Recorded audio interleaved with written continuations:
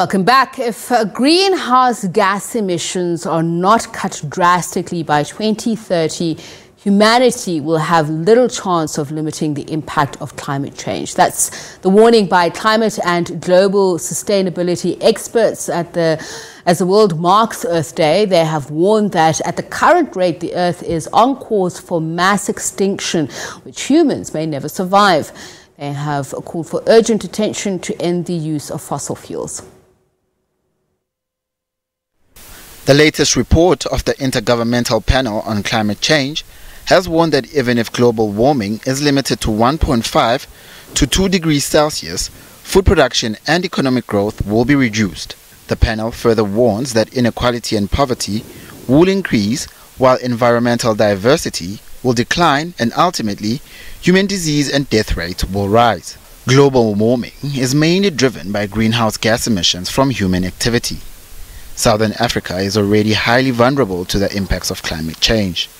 Warm and dry regions are projected to become even warmer and drier, with warming in the interior of the regions increasing at twice the global rate. Experts have warned that as average temperatures get hotter, the likelihood of extreme weather events also increases sustainability. Apart from the risks of catastrophic damage to infrastructure, these extreme weather events are associated with diseases like diarrhea, malaria, and even liver and kidney failure. The IPCC report has shown that even if all the policies written by governments across the world to cut carbon emissions had been fully implemented, the world is still warm by 3.2 degrees Celsius this century. They urge greater investment now in climate change mitigation, cutting greenhouse gas emissions in order to reduce global warming which means there will be less need for investment in adaptation measures in the future. Well, let's speak now about some of these alarming findings and warnings. We're joined by Dr. Jako Volschenk, who is a senior lecturer in strategy and sustainability at Stellenbosch Business School. A very good evening to you, and thank you so much for taking the time to speak to us. Now, you make a, a, very alarming statement by saying humanity is cooking itself, adding more heat to the pot. It's so graphic and jarring. Just tell us what makes you say it like that. Chapiso, uh, we often hear the analogy of the frog in the hot water and the frog eventually cooks itself. Uh, what's ironic about that is the frog actually figures out that it's getting hot and eventually gets out.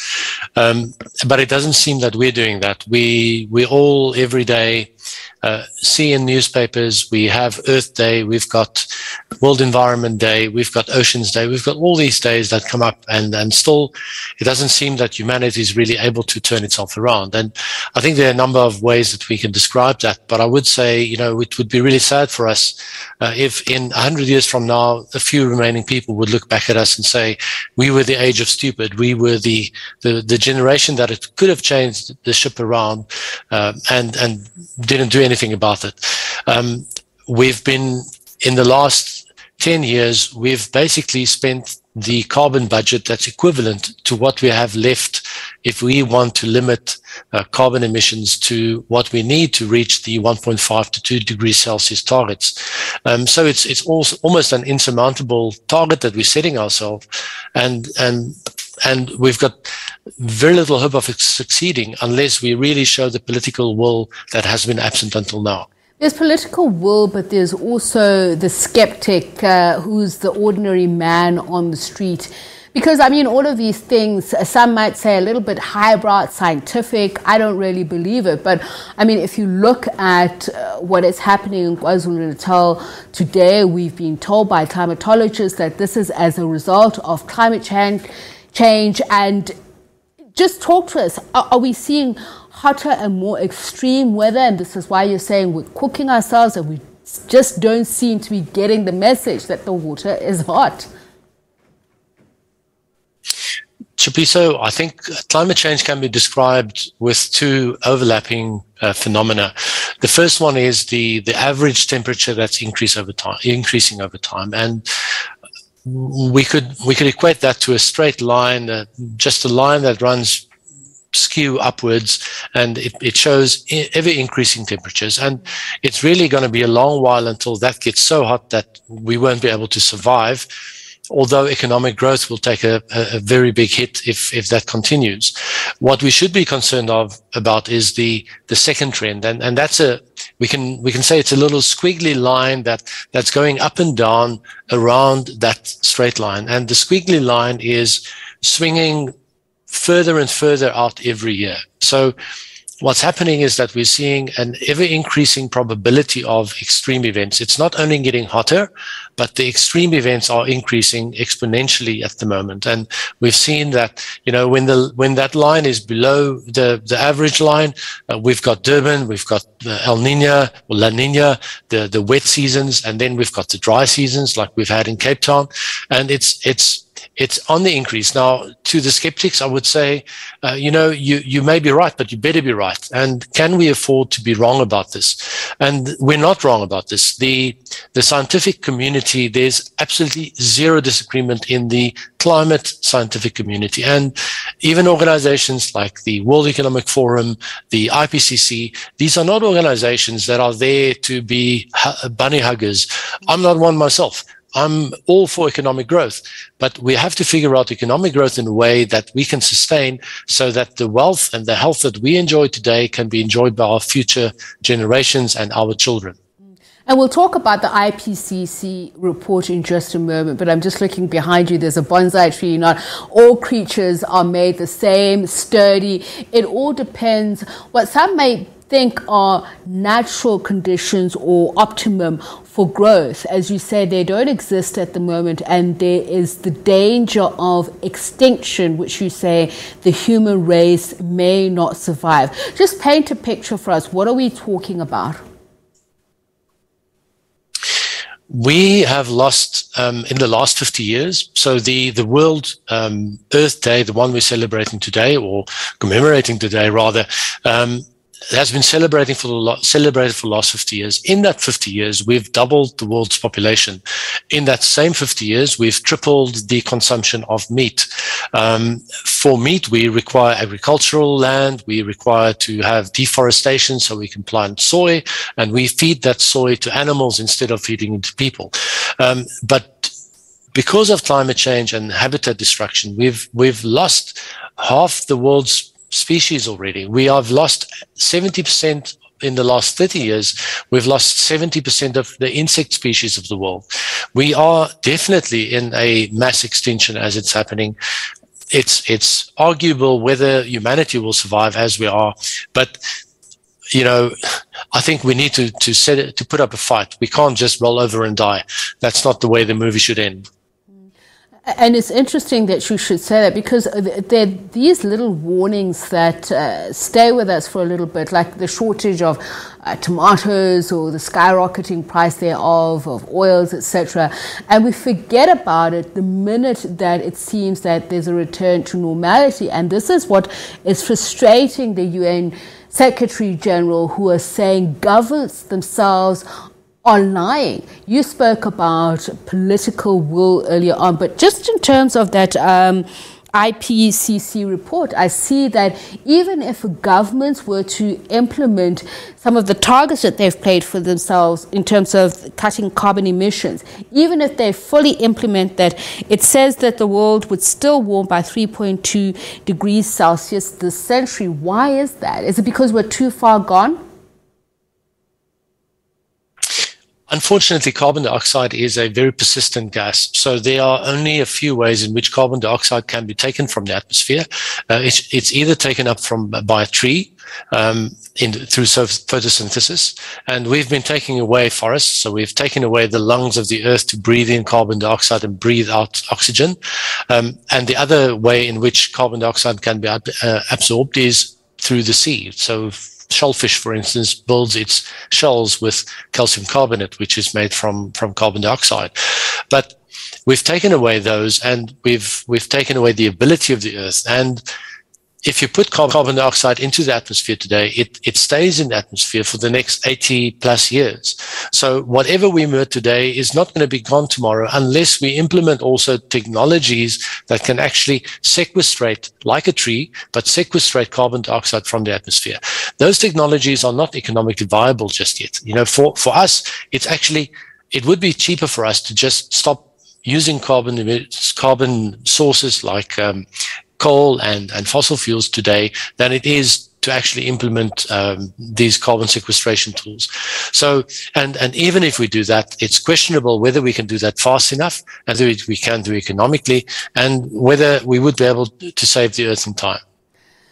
You know, what's interesting is uh, even if people, I mean, you spoke about the consumption of meat, how that's more than doubled, and obviously the populations have exploded as well. But even if we change social and human behavior, there are oligarchs who obviously benefit from this. I was watching a documentary about uh, f- furniture and how timber is being, you know, obviously is the main source. And forests that are just being plundered, irrespective of what laws are in place. There are uh, kingpins who ensure that that still happens. So, how do we police that? I mean, people can police themselves, maybe change their behavior, but there are these criminal networks that feed off it literally.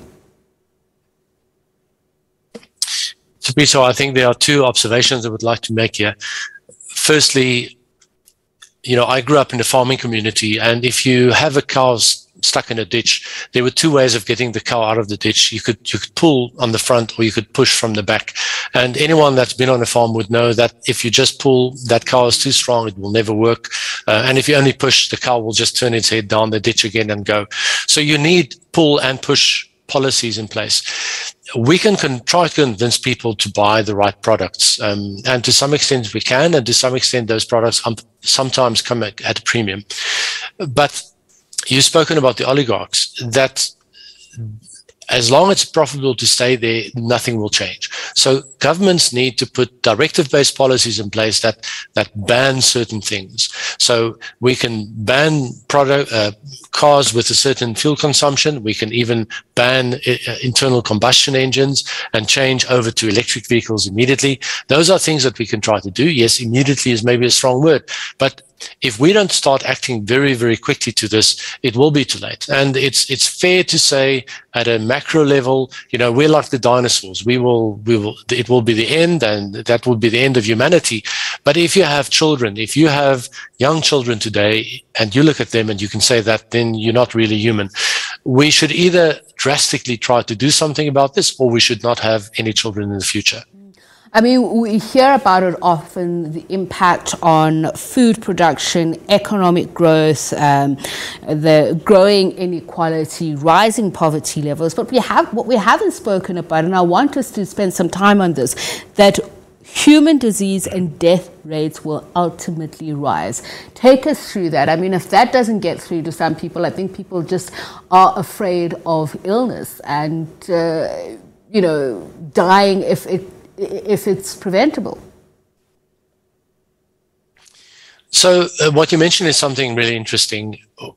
Some of my colleagues working with me have have monitored what happens with certain diseases.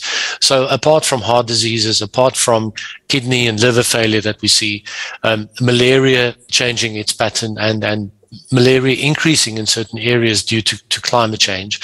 Um, but for instance, diarrhea is one of the biggest sources of deaths in Africa, and that's not the same in the developed world.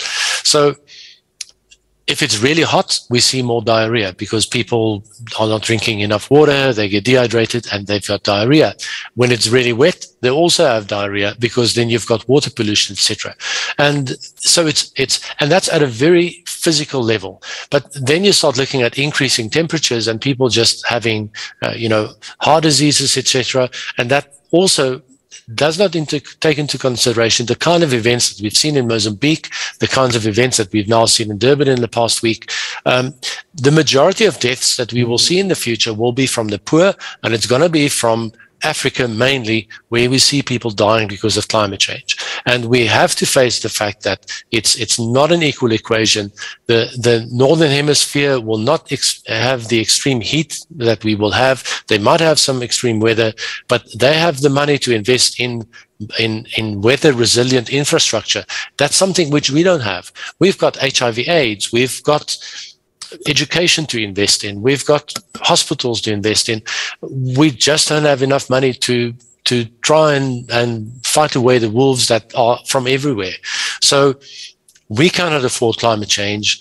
We can choose whether we invest in mitigation, in trying to prevent climate change, or to invest money in adaptation. How do we adapt to climate change? Now, I would bear to say that it's, it would be very difficult for us to actually do something material in Africa about climate change, but that should not stop us. Um, South Africa has got one of the heaviest carbon footprints. And again, it's not even an equal footprint. The, the riches of us in, us in Africa or in South Africa, myself, yourself, many of the viewers on this call, we've got carbon footprints equal to the most dirty footprints that you see in America. But we are fortunately equaled out by the poor in South Africa. So we're not seeing an accurate picture, but it's the poor that will suffer the most. It's the rich that has the ability to adapt. If we don't like it here, you can move to Australia or wherever you want. Although I think that's a bad place to move to um, with climate change. But the rich has the ability to adapt, the poor doesn't. And and in many cases, um, it's it's the voices that are not in the negotiation rooms when it needs to be. Thank you so much for your time and your insights. It's a pity we didn't have time to talk about the damage to infrastructure, but much appreciated, Dr. Jako Volschenk, Senior Lecturer in Strategy and Sustainability at the Stellenbosch Business School, speaking to us on this Earth Day. Much appreciated. Moving on now.